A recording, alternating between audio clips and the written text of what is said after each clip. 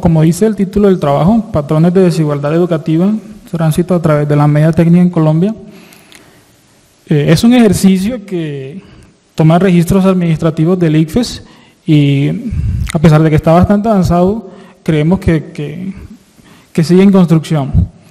Y parte de la, de, la, de la motivación surge de esa diferenciación que se hace con respecto a los conceptos de desigualdad de origen y desigualdad de oportunidades y cómo media la política pública o la educación para distinguir diferentes niveles de estos.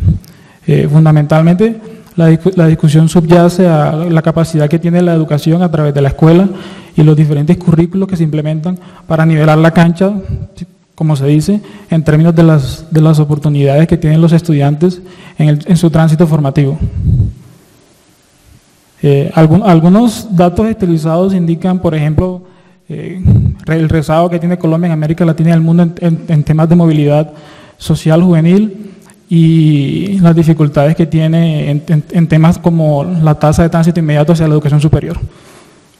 Temas que consideramos a raíz de la revisión de la literatura eh, tienen profundo impacto en la capacidad de, movilización social de los más jóvenes. Entonces, eh, cuando revisamos la literatura, una de las políticas que surgen para aliviar este tipo de, situaciones proviene del currículo vocacional.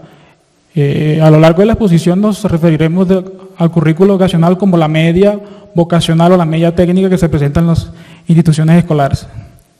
Entonces se destacan mucho sus bondades para, digamos, aliviar la deserción escolar y fomentar el tránsito formativo. Asimismo, la construcción de una vocación y una profesión en los jóvenes. Sin embargo, la evidencia empírica que es escasa, no muestra los efectos anteriores para el caso de Colombia. En la realidad lo que se viene observando es un deterioro del modelo y de la intención del currículo vocacional en Colombia. Con todo esto, la idea que queríamos, o sea, lo que nos preguntábamos y que queríamos responder a través de los datos, era si existía una, existía una relación entre lo que hacía el currículo vocacional y las oportunidades de tránsito formativo de los estudiantes. Algunos de los, de, los, de los papers que revisamos en la revisión de la literatura, lo que nos indicaban era que de hecho este tipo de formación aumentaba la desigualdad educativa, aumentaba la segregación educativa, a pesar de que tenía otras bondades. Entonces de entrada ya estamos un poco preocupados. Incluso trabajos a nivel nacional tenían resultados que no eran conclusivos. ¿Qué encontramos nosotros de entrada?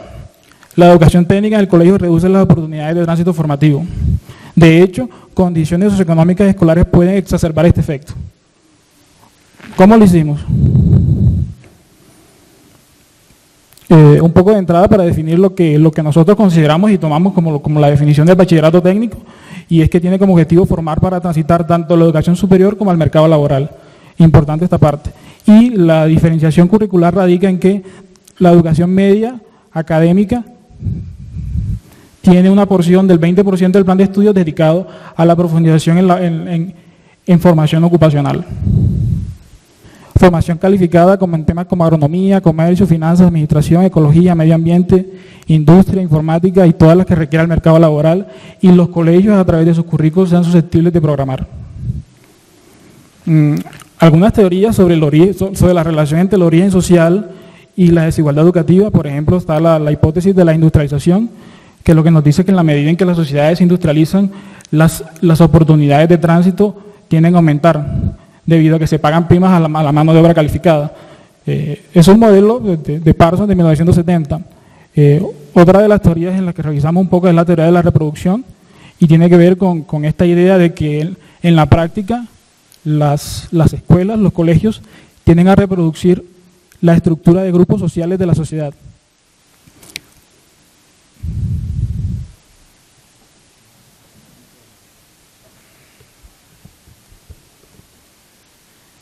tienden a, reproducir la, estructura de clases de la sociedad en lugar de promover la, movilidad social de los estudiantes. Y la hipótesis de aversión relativa al riesgo, que es el enfoque microeconómico de la, de la optimización que dice que los estudiantes, a pesar de, de, las dotaciones con las que nacen, los jóvenes, tienden, a evitar la movilidad social descendente a toda costa. Entonces es un juego como que de, de jugar a las decisiones más conservadoras, en términos de hacia dónde puedo transitar formativamente, en términos de la educación superior. Lo que nosotros pretendíamos era un poco eh, incorporar todo este tipo de influencias en un marco general de trayectorias educativas y ciclo de, ciclo de vida de los estudiantes para controlar, para controlar en la medida de lo posible todas las influencias a la hora de realizar el tránsito. Entonces la idea era adoptar una visión acumulativa de todos los determinantes de la, de la transición educativa hacia la formación, hacia la formación superior. ¿Qué hicimos? Eh, tomamos datos administrativos del ICFES, Saber 11 y Saber Pro, Saber Pro universitarios y Saber TIT, y realizamos un cruce eh, buscando la trazabilidad de los estudiantes que, que, nosotros definíamos como aquellos que realizaban el tránsito a educación superior. Eh, esta parte es importante porque el tránsito a educación superior nosotros lo, definimos no como la matriculación del estudiante en una institución de educación superior, sino como la capacidad de adquirir o transformar el capital humano. Entonces nosotros decíamos como que, eh, de hecho, cuando se hacen las pruebas saber, TIT y Saber Pro, ya el estudiante va avanzado en una porción significativa de sus estudios, que de hecho le puede permitir ingresar al mercado laboral. Entonces, de hecho, ya hubo una transformación del capital humano. En ese sentido, nosotros reconocemos el tránsito formativo.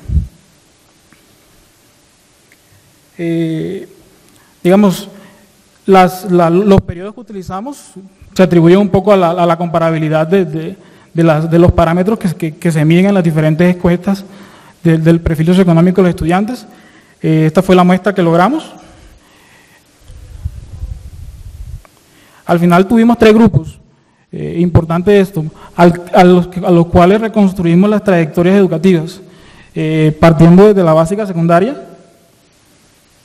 Teníamos estudiantes de media técnica, eh, media académica y técnica, como media mixta, si, se quiere, que era el grupo 2, grupo 1, y grupo 3, aquellos estudiantes que eran exclusivamente de la media técnica.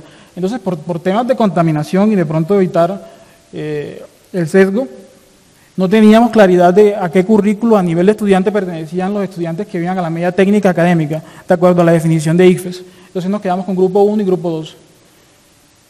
El reto era establecer comparabilidad entre los estudiantes que van a la media académica y la media técnica, entendiendo que de entrada percibíamos que eran socioeconómicamente diferentes. Entonces, metodológicamente, eh,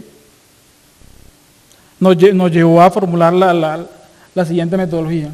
Importante también destacar que, la medición de desigualdad educativa que nosotros establecemos va más allá de los niveles académicos que se logran. Y en este caso tiene en cuenta la probabilidad de generar tránsito educativo.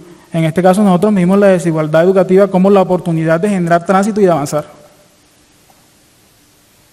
Eh,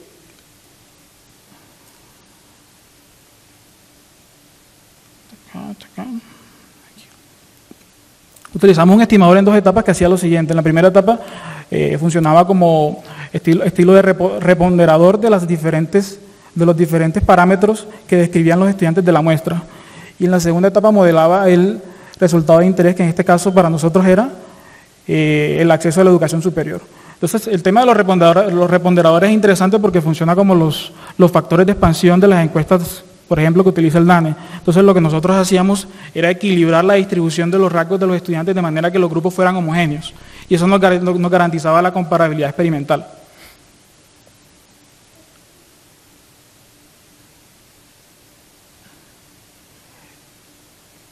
Al final, eh, los modelos, como por una parte se modelaba la, la, participación en el tratamiento, que en este caso es la matrícula en, currículo técnico y en, el otro, que es, el resultado de interés que tiene que ver con el tránsito de la educación superior, incorporaban los siguientes parámetros.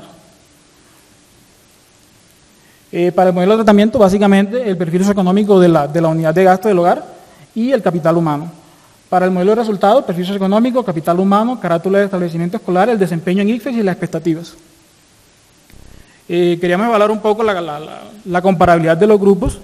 Eh, utilizamos, las densidades eh, experimentales de los grupos y pues, cuando, observamos empíricamente nos dábamos cuenta que el balance era apropiado. De todas maneras utilizamos diferencias estandarizadas para revisar qué tanto qué tanto se diferenciaban, tanto, qué, tan grande era el contraste entre los parámetros que buscamos balancear. Entonces observamos que había, que había un buen balance, una buena equiparación de los parámetros. Eh, de los primeros resultados interesantes era que existía una tendencia sistemática de los estudiantes, dígase como los más vulnerables o de los segmentos sociales eh, más bajos, a participar en el currículo técnico. Sea, de alguna manera había un seco de selección entre los más vulnerables a participar de esta estrategia curricular. Y era interesante porque veíamos que con, parámetros como el ingreso del hogar y el estatus económico iba disminuyendo la, posibilidad de que los estudiantes ingresaran a este tipo de colegios. Incluso con el, con, el nivel de, educación de los padres observamos la misma tendencia. Eh, al final contrastamos los resultados con otras metodologías como Propensity Score Matching y las metodologías separadas. Los resultados en general que nos indicaban, eh, la esperanza de ascenso educativo es inferior en cerca de 2.6%, esto es 0,2 desviaciones estándar para los estudiantes. O sea, ese es el efecto que alcanzábamos a calcular entre todo el grupo de estudiantes. Para el grupo de estudiantes que se matriculaban eh, estrictamente, este efecto llegaba al 3.6%, cerca de 0.3 desviaciones estándar. Eh, una, bondad que tenía la, metodología era que nos permitía reconstruir los resultados eh, experimentales dentro de los, grupos y elaborar las distribuciones de los resultados. Nos permitía ver un poquitico más cómo se comportaban, digamos, los resultados desde la intervención. Eh, también nos interesaba un poco identificar aquellos elementos que podían exacerbar este efecto en términos del perfil socioeconómico y la carátula del establecimiento escolar. Eh, lo primero que encontramos es que temas como el, estrato de, el estrato de la vivienda, el área de residencia y el género de estudiante tenían capacidad de modificar e incluso aumentar el, impacto de esta política negativamente. Y aquí empezamos a identificar los primeros canales a través de los cuales se da este efecto. Uno de ellos es el tema de la, de la ventaja acumulativa. Eh, otro, otros, otros parámetros como la naturaleza del colegio, el, costo de la matrícula como indicador de la calidad del establecimiento, la jornada escolar y los años cruzados en el último colegio también se presentaron como relevantes a la hora de estudiar el efecto de transitar a la educación superior. Entonces era importante que entender que, por ejemplo, las familias con los mayores recursos tenían la capacidad de aprovechar en mayor medida las condiciones que brindaba el sistema escolar a través de este tipo de currículo para transitar a la educación superior. Eh, hicimos un análisis de sensibilidad, que básicamente lo que nos indicaba era que la estimación era bastante robusta. Hicimos también un análisis de poder estadístico.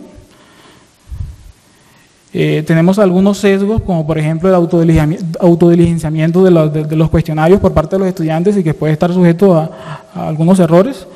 Eh, el tema de la selección y la deserción muestral es posible que, que, los grupos de estudiantes que lleguen al final, que son los que tomamos para saber 11 y saber TIT y saber PRO, no presenten una, distribución general de lo que nosotros queremos ver que son los estudiantes técnicos y académicos.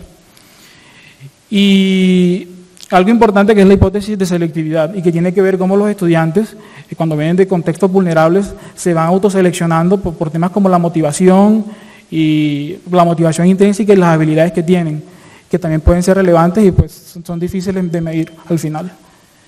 Eh, ya voy a terminar. Para la discusión, eh, temas que identificamos eh, confluyen diferentes situaciones a la hora de, evaluar la calidad del currículo educacional y por qué éste viene exacerbando la, brecha de oportunidades en el tránsito a la, educación superior en Colombia. Eh, una de ellas tiene que ver con el deterioro del modelo vocacional. No existe estandarización o una política general que alinee, los, que alinee digamos, la, metodología y los temas de financiación del currículo técnico. Eh, otro tema importante es la predilección de los individuos vulnerables este, a, la matrícula en este tipo de colegios, que lo que termina recrudeciendo la brecha. Y algo que, es bastante importante es el sesgo del, modelo de evaluación estandarizada. En la práctica, ICFES, eh, a través de Saber 11, Saber Pro y Saber TIC, no evalúa competencias ocupacionales en los estudiantes, lo que no genera el incentivo para que los, establecimientos que tienen este tipo de currículo eh, aumenten su calidad, por así decirlo. Eh, al final lo que a decir es que el currículo técnico explota las, circunstancias de fragilidad en los estudiantes, acrecentando la brecha de, tránsito hacia la educación superior. Eh, un mensaje importante en términos de, recomendaciones de política es que si se va a dar estratificación educativa, que es de lo que trata el currículo técnico, no tenga en cuenta criterios de condiciones de origen. Y hay un tema importante de desplazamiento educativo que tiene que ver con la ausencia de información a la hora de que los estudiantes toman la decisión para transitar a la educación superior. Y está muy ligado a las expectativas inconsistentes sobre qué tanto van a durar en un, en un programa o si es viable para ellos ingresar a ese programa en términos económicos. Y eso es todo.